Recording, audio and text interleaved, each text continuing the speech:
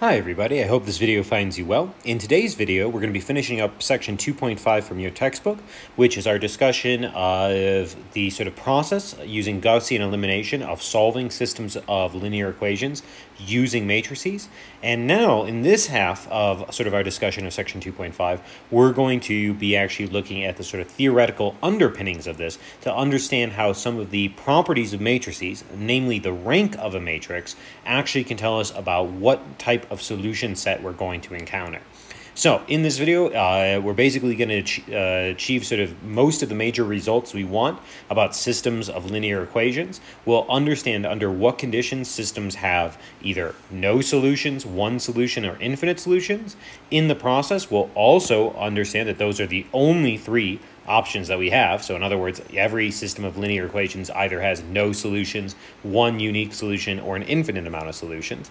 And since we've already discussed in the first part of the section 2.5 sort of material how to find these solutions, this will really complete those major questions that we sort of posed about how do we know that a system has solutions, uh, what sort of conditions need to be true for those for the, us to get these different types of solution sets, and how to find those solutions. So let's get into this. So to start off with, uh, one quick piece of notation that we want to mention here is that whenever we see this A with sort of that pound symbol or that hashtag sort of symbol there, uh, that's our notation for the augmented form of a matrix. And remember, the augmented form of a matrix is just that you took the matrix of system coefficients and you augment one extra column that is the column that is the system co uh, the system constants. So A augmented is some is a piece of notation that really only makes sense when we're talking about a matrix that corresponds to a system of linear equations. So what we're going to be doing at the beginning part of this video is we're going to look at a series of lemmas. Lemmas are basically sort of mini theorems. Um, you could just call each of these a theorem in of itself, but really what we're doing is we're establishing some different cases, and then at the end of this we're going to have sort of a main theorem uh, where there won't be really anything to prove in the main theorem because we'll have established all the sort of parts of the theorem through these little lemmas here. So these lemmas, again, they're just sort of um, they're just sort of a nicer name for these mini theorems where we're going to handle a lot of the sort of work for our big theorem towards the end of the video. So our first lemma uh, is pretty straightforward. It says, suppose we have a system AX equals B. So a, a we've got a matrix equation that's representing a system. Um, then the rank of A augmented is either equal to the rank of A or the rank of A augmented is equal to the rank of A plus 1. Um, so in other words, it's saying that the rank of A augmented is either the rank of the original matrix or the rank of the original matrix plus 1. You'll notice that I didn't put a place to prove this because this should be pretty clear. What are you doing when you augment a matrix? Well, you're adding one single column.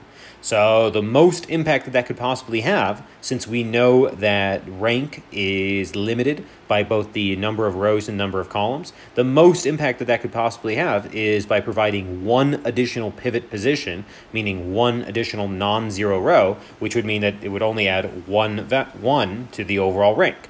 Obviously, augmenting might not change anything, which is why we have one possibility where the rank of A augmented is the same as the rank of A, and one possibility where the rank of A augmented is equal to the rank of A plus 1. It doesn't make any sense that the rank of A augmented that has an extra column would be smaller than the original rank, and it certainly doesn't make any sense since we're only adding or augmenting by one column that we'd have the rank increase by 2 or 3 or something. So this is one of the few lemmas we're going to state without proof because there's really nothing to prove there. It's sort of just intuitive.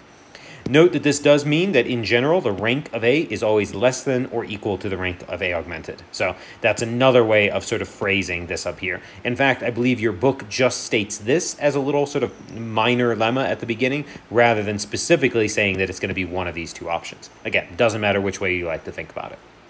Okay, so the first real lemma that we're actually going to sort of discuss and prove is lemma 2 here. So lemma 2 says, suppose we have a system, ax equals b, so again, a system written into a matrix or vector equation, where a is m by n. Then, if the rank of a equals the rank of a augmented equals n. So if the rank of a is equivalent to the rank of a augmented is equivalent to n, then the system will have a unique solution. So this lemma here right here basically establishes the conditions necessary for a system to have a unique solution. So let's go ahead and think about the proof of this. So to do this, let's imagine, sort of, imagine putting A into row echelon form. Now, of course, A is just some arbitrary matrix, so we don't know exactly what it's going to look like. So when I imagine putting it into row echelon form, I can't guarantee, I don't know all the values, but I can sort of talk about the general form here. So what we're going to assume is, you know, we've got some leading one, and then we maybe have a bunch of stuff. Uh, then, of course, we know that we have all zeros below that. Uh, then maybe we have another leading one, and we have some stuff. And, of course, that continues on and on. Uh, down to maybe where we have another leading one here. Maybe this is our last leading one. There could potentially be some other things here. And then, of course, at the bottom, we might have, uh, we'll give ourselves a little bit more space. At the bottom here, uh, we might have some zero rows, right? But of course, that doesn't sort of matter. We just can imagine that we have some zero rows down here. Maybe no zero rows, maybe a couple zero rows, maybe a single zero row, whatever. But that's what we're putting something into row echelon form sort of looks like visually, right? You have a bunch of leading ones, you have all zeros under those leading ones, so all this stuff is zeros, and maybe you have some other stuff over here to the side, and then at the bottom you have your zero rows. Okay, now the other thing we sort of know is we know that the rank of A is equal to n. So in this format here, all of these, there's n uh, non-zero rows in this format. Because remember, what is the rank of A? Well, it's the number of non-zero rows once you put something into row echelon form. Now, let's imagine that we also had our augmented component. Now remember, the augmented component has the same rank, meaning that when we augment with this extra column, it can't give us any additional non-zero rows, meaning all these rows up here already have leading ones, so it doesn't matter what's over here. But when we look down at this zero rows down here, everything down here must also be zero in the augmented form. Because if there was any non-zero value down here, then we'd have something that was a zero row with a non-zero value here, and that would mean that the rank of A augmented would be one higher than the rank of A, which we know it's not because they're equivalent. So all this has to be zeros here as well.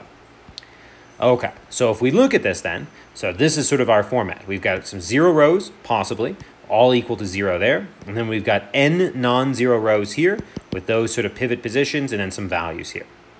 So why does this tell us that we were going to have a unique solution? Well, what we should sort of see here is that since we have n variables, how do I know that we have n variables? Well, if we have an m by n system, remember the number of rows is the number of equations, and the number of columns is the number of variables. So since we have n variables and n non-zero rows, we can back solve for each individual variable uniquely. How do I know that it's going to be unique? Well, this one here, this is going to be, since it's going to be, uh, we've got n non-zero rows and n variables, this one will solve for the first variable. Then the next one, since we'll already have this variable, we will solve for the next one, the next one, the next one, so on and so forth. So this guarantees that if the rank of A equals the rank of A augmented equals n, then you're guaranteed that this is going to have a unique solution. So the solution will be unique. So there we go. That shows us that if we're in the situation where the rank of A matches the rank of A augmented, matches the number of variables, we're guaranteed to have a unique solution.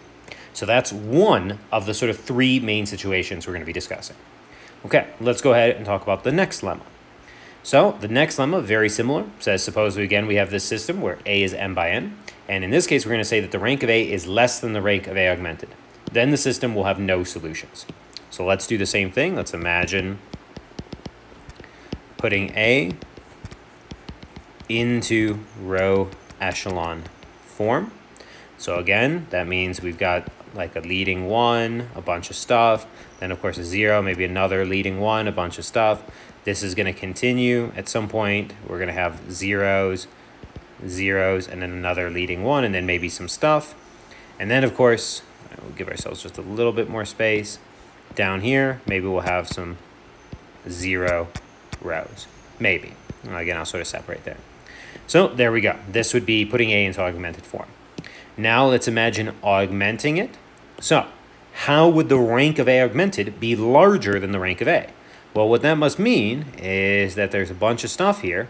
And then down in this section, which were zero rows in A, there has to be a non-zero value over here, which would give us a non-zero row that only is in rank of A, or is only in A augmented, meaning that rank of A augmented would be one larger.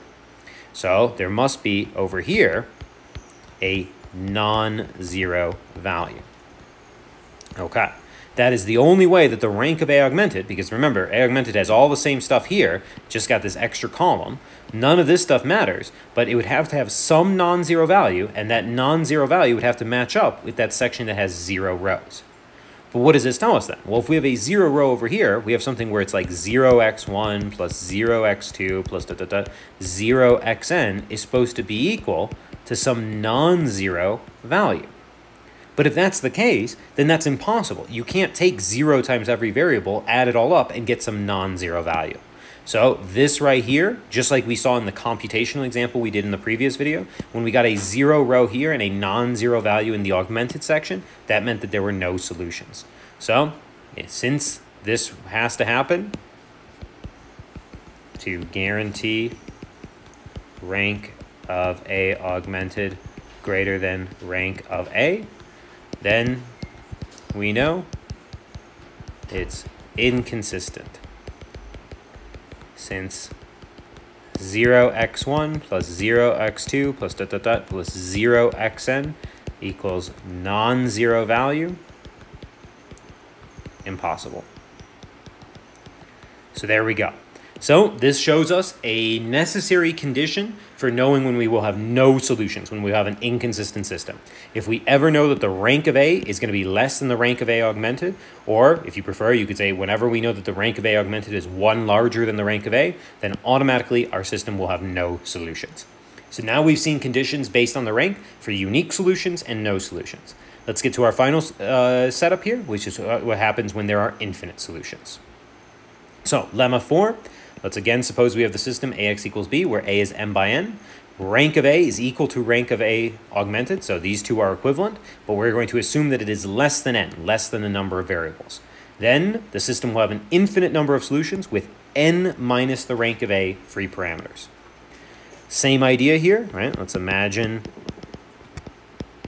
putting a into row echelon form. So what is that going to look like? Same thing we've done. Have like a leading one, have a bunch of other stuff, then a zero, then another leading one somewhere, a bunch of stuff, and that'll continue, zero, zero, down to zero, maybe another leading one, maybe some stuff. And again, potentially there's some zero rows here. Okay, now we know at this point, because we're assuming that the rank of A is equal to the rank of A augmented is less than N, right? Up here, we have rank of A non-zero rows, which of course is less than n. And that's what we have here. And again, these zero rows sort of are off on their own. Now, if we think about the augmented part, well, because the rank of A augmented is equal to the rank of A, we know that we could have whatever we like here, but once we get down into this section of zero rows, if there are any, all this must be zeros here as well. Because if there weren't zeros here, then the rank of A augmented would be larger than the rank of A, and we'd be in the previous case where it would be inconsistent. So we know it looks something like this. So this is actually more similar to the second lemma. Well, we can begin by back solving. So you would back solve each variable. But the big difference here is there are only going to be rank of A constraints. In other words, there's only going to be rank of A different equations that you can use to back solve. But we know that the rank of A is less than the number of variables. So since we have less constraints than variables, the sort of difference in the amount of constraints to the amount of variables is how many free variables we can use. So we can have free parameters equal to the number of variables minus the rank of A. This means we will have infinite solutions. So, in other words, just to sort of recap this, basically what we're saying here is that this statement here, rank of A equals rank of A augmented, guarantees that if there are any zero rows, they match up with zeros, which means that there will be solutions. The fact that rank of A is then less than n, that tells us that up here, once we put it into row echelon form, even though we started with m equations, we end up with rank of A equations that actually matter. When we use those rank of A equations using back substitution, that's going to restrict a rank of A amount of the variables. But since there are more variables, the remaining variables, n minus the rank of A, are going to be free variables. So that tells us then that we will have infinite solutions with the number of free parameters being equal to n minus the rank of A. So there we go. This now, if we put these four lemmas, basically the lemma 2, lemma 3, and lemma 4 are the ones that we really want. We now know conditions based on the rank of A and the rank of A augmented that tell us when we will have a unique solution, when we will have no solutions, and when we have infinite solutions. So we went and did, did these proofs sort of based visually on the row echelon form. That's why row echelon form was so important to us. Now let's go ahead and summarize these lemmas together into a couple main theorems. So this right here is sort of the main theorem that puts all that stuff together. It says, suppose we have a system, ax equals b, where a is m by n. If the rank of a equals rank of a augmented, then the system will be consistent. So that answers the question of when do systems have solutions? They have solutions when the rank of A equals the rank of A augmented. It will have a unique solution if the rank of A equals the rank of A augmented equals n, the number of variables, and it will have infinite solutions if rank of A equals rank of A augmented is less than the number of variables. You might say, why isn't there a case where rank of A equals rank of A augmented is greater than n? Well, we know that that's impossible because the number of rows and the number of columns are both limiting factors for the rank, so there's no way the rank could be greater than n. In the case where you have infinite solutions, then n minus the rank of A will give you the number of free parameters. You can sort of think about the rank of A as how many actual constraints you have on your variables. So the remaining amount of variables, n minus the rank of A, is how many free parameters you can use. Finally, if the rank of A is ever less than the rank of A augmented, then the system is automatically inconsistent. Do we need to have an if rank of A greater than rank of A augmented situation? No, again, that's impossible. Like we said, rank of A augmented is always either the same as the rank of A or one higher, so there's no case where we need to consider the rank of A being larger than the rank of A augmented. So this right here is super crucial. I mean, this basically is what we wanted to sort of come up with. Um, we wanted something that told us about the conditions for the different types of solution sets, and there we go. We actually found it. Now, right below here, um, we can restate this theorem for the very special type of system for homogeneous systems when that b is actually equal to the zero vector. So I am going to restate that right here. This is just the same theorem, but applied specifically to homogeneous systems since they are going to be very important for us. So this theorem says uh, for homogeneous systems, suppose we have a system AX equals 0, where A is m by n. Then remember, this system is always consistent, since x being equal to 0. So in other words, taking every variable and setting it equal to 0 is automatically a solution. However, it will still have a unique solution, and that unique solution will be x equals 0, which means all the variables equal to 0, if the rank of A equals the rank of A augmented equals n. And it will have infinite solutions, again, if the rank of A is less than the rank of A augmented is less than is equal to the rank of A augmented is less than n. And it will still have n minus the rank of A free parameters. The case that's not mentioned here is the chance for it to be inconsistent, because homogeneous systems are always consistent since x equals 0 is always a solution. Note that this also means that for homogeneous systems, the rank of A always matches the rank of A augmented, because if it didn't, then it would be inconsistent, but we know homogeneous systems are never inconsistent. Okay, so these theorems, again, very, very crucial because they really are, we achieved our first major goal in this section, which is, you know, we sort of introduced these matrices, these matrix operations. We said matrices could represent systems, and then we said, let's come up with a sort of higher level understanding of the solution sets of systems of equations. And now we have that higher level understanding. It's all based on the comparison of the rank of A to the rank of A augmented to the number of variables. Now, this, of course, coupled with what we did in the first part of section 2.5, which is where we actually established Gaussian elimination tells us that now not only do we have conditions for the solution sets, we also know how to literally find the solutions. So this pretty much tells us that we are, at, so far, doing very well with our understanding of systems of linear equations. Before we move into the next section, though, what I'd like to do is a quick example, sort of trying to make use and make sure that we understand the sort of consequences of these theorems. So we're going to do sort of a theoretical exercise based on uh, solution sets, where we're going to take a look at some different systems of equations, have some information given to us about the rank, and then try to deduce what are the possibilities for the solution set. So let's take a look. So, as an example here, what we're going to do is in each of these situations, we're going to try to describe the solution set as thoroughly as possible. If there's multiple cases, which might happen, we're going to have to explain how these cases arise. And when we're doing this, we're going to assume that if it says B, then it's not equal to zero, meaning if it's, if it's written as B there, it's a non-homogeneous system. So um, we'll go through each of these individually, but I want you guys just to see that on these types of questions, what we're being asked is we're not given what the system coefficients look like or the system constants or anything. So we're not actually able to solve this. This is just being done in general. But what we're given is information about how large the matrix A is and what its rank is. And that's actually enough to determine all the possible cases for the solution set. So let's take a look at A here. So for this one, we have AX equals B, where A is a 5 by 5 matrix, and we know that the rank of A is equal to 5. First thing we might want to take a note of is that Nothing about rank yet, but just A augmented. Well, when we augment is going to be a 5 by 6 matrix. Right? It's going to be 5 by 6 because what do you do when you augment? You just add a column. So it's probably good to keep that in mind.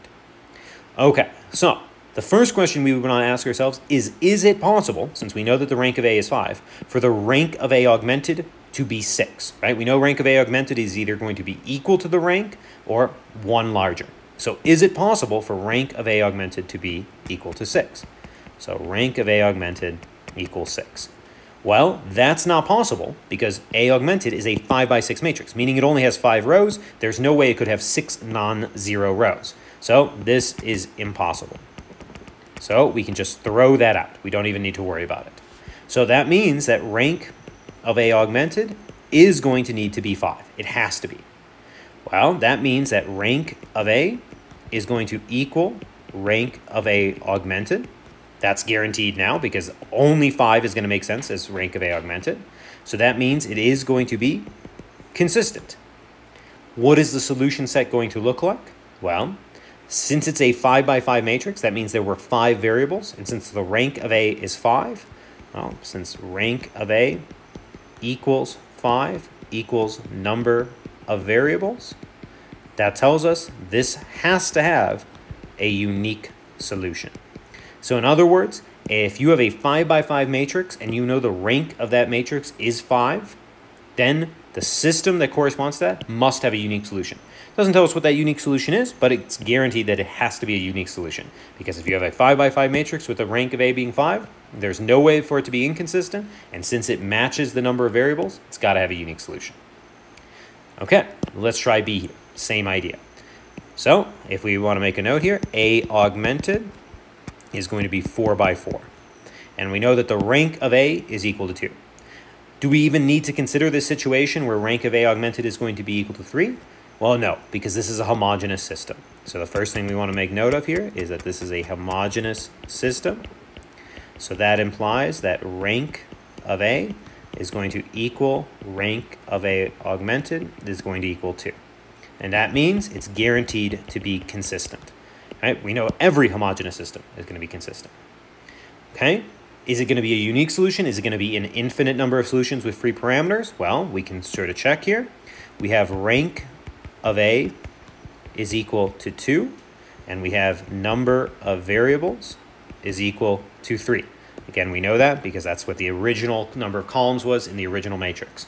This is smaller than this, so we know that there's going to be infinite solutions with 3 minus 2 equals 1 free parameter.